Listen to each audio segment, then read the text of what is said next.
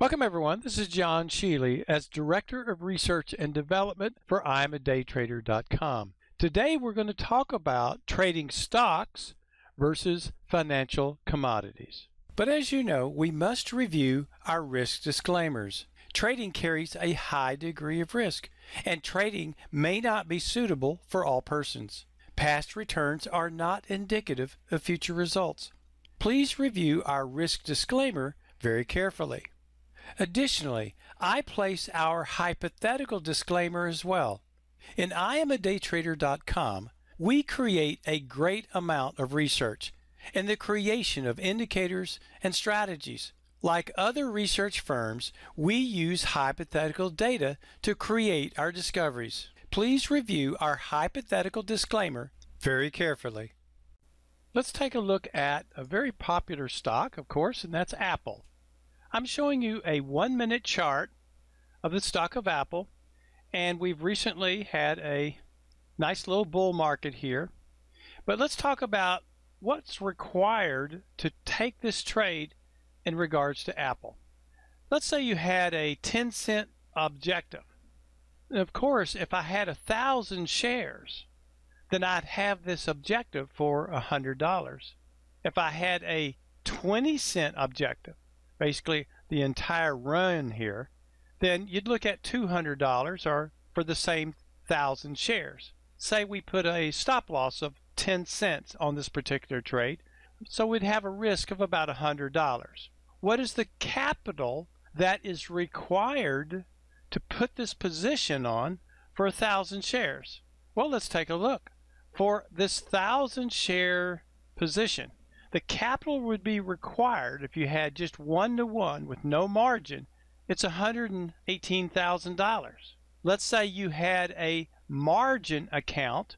Margin is two to one, so you'd have about 59,000 that would be required. Now, how about if someone is a pattern day trader? And of course, if you have that ability in regards to your stock account, then you'd have a four to one margin during the day now. In regards to therefore you'd have a 29,500 available for this particular position of a thousand shares. Let's talk about the expense of putting on this thousands of shares. Well, actually, as you can tell, commission varies tremendously. It can be as low as $5 and maybe even slightly less, but we know different brokers you could have a stock cost of $15. That's one side, just the buy side. Well, let's say I want to go ahead and take profits and I sell. So I buy and a sell. Okay, the total cost of this particular position is at least 10 to $30 for each trade. Since I've talked about a pattern day trader, the requirements to be a pattern day trader means that you must have at a minimum of $25,000 in your account. Let's say you want to kind of pump it up just a little bit so it's not exactly at 25,000. Let's say we had a 30,000 account and you're going to be a pattern day trader that's going to allow you to have the 4 to 1 margin that is required. So in other words, to make that 100 to $200 in this trade, you would need at least a $30,000 account. Now let's take a look at commodities. Now I'm looking at the same movement in regards to crude futures in this one minute chart, just like we saw in the stock of Apple. And so we had a big price decline here. Let's say we had a 10 cent objective. Entering this trade in here, if you had a 10 cent objective, that is $100 for one contract. If you had a 20 cent objective during this little bearish trend here, you would then be able to make $200 for one contract. If you put a stop loss of 10 cents, you would have a loss of about $100. What is the capital that is required to make this trade? Well, the current margin is $3,200. But remember that if the market is more volatile, then you're going to see a larger requirement in regards to margin. Now, what is the beauty of this particular trade? Commissions. The commission cost for this same trade is $5 or less total.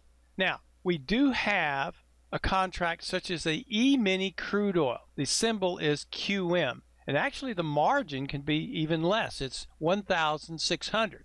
But remember, contract is not as active as the normal crude contract. But let's talk about the capital that would be required to enter this trade. I show an example of an, a commodity account of $10,000. Now the reason I say that is that if you were going to risk $100 as a stop loss, then a 1% risk would be $100. So if you had a one to one ratio of which a stop loss of $100 and a profit objective of 10 cents, you're looking at $100. So that is why a $10,000 account may be suitable to place this trade. Now granted, the margin is less than that. That's only 3200. But if you're going to risk 1% of your capital in placing this one contract, a $10,000 commodity account would be appropriate. Now here I've showed you the price action in a time-based chart, in a one-minute chart. Let's take a look at a different kind of chart. Here we're taking a look at the 233 tick chart in crude oil. Just remember that every bar that you see is created by every time there's 233 separate ticks. When that 233 ticks occur, then a new bar is created. Now let's take a look at the same price action that we saw by using the tick chart. Here you have that 20 cent move and you could have made anywhere a 10 cent objective so you'd be able to make $100. Here's the $200. Now I show a couple of potential trades that we're going to teach our members in our trading room. Here we have actually two possible trades using a strategy and so we're looking at a very a fast scalping trade of 100 to $150 per trade. That is just for one contract of the major crude oil. Now remember we're talking about tick charts. These are charts that are not based upon time but price activity. And you may wonder, well why am I really looking at the tick bar or volume bars or range charts? Why am I not using a normal time-based chart? Well, let's take a look. Here we're taking a look at the crude oil again at a 15 minute chart. Now what you see is that we had suddenly, out of nowhere, had a big vertical run.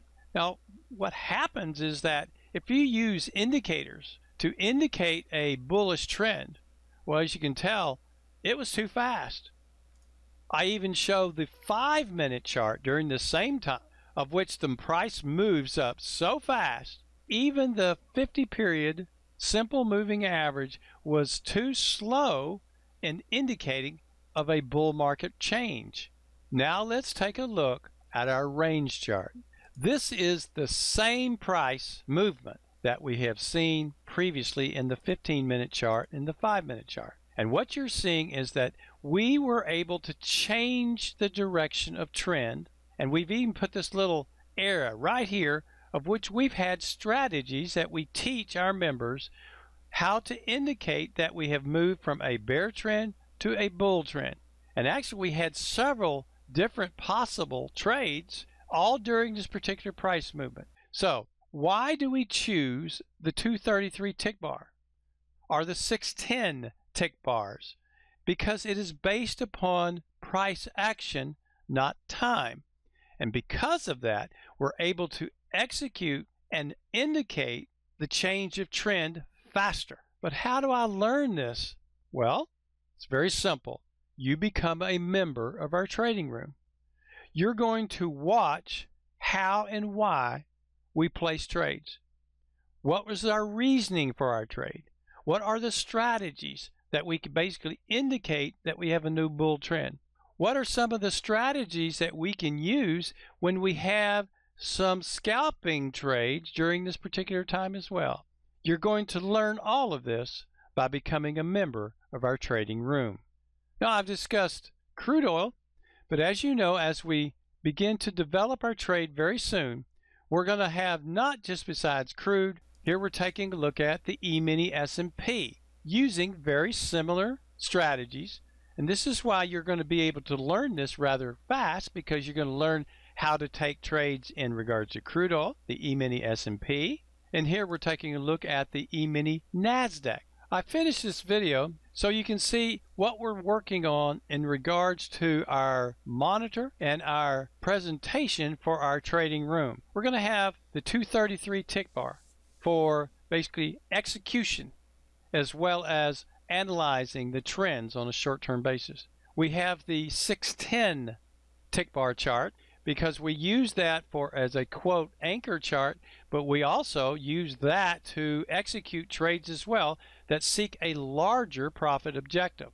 Here I'm showing you even a larger period in regards to almost the 1600 tick bar chart. But we do have to watch from time to time price-based charts. This is why we'll have a appearance of the 5 minute chart, the 30 minute, and of course, we have the daily and weekly chart so we get a long-term perspective.